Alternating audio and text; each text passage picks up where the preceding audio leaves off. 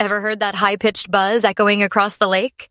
That sound is the signature of a two stroke boat engine. But what makes these engines so unique and popular among boaters?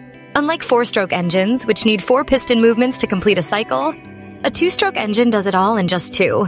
This means the engine completes the entire combustion process with only one upstroke and one downstroke of the piston. As the piston moves downward, it opens ports that let in a fresh mix of fuel and air. When the piston rises, it compresses this mixture and a spark ignites it, creating the power that drives the boat forward. With a power stroke every revolution, two stroke engines deliver more bursts of energy compared to four strokes. This makes them lighter and more powerful for their size, perfect for small boats that need quick acceleration.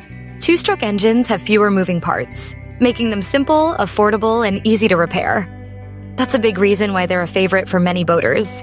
However, they are less fuel efficient and produce more emissions, since oil is mixed directly into the fuel. Two stroke boat engines loud, light, and built for fun.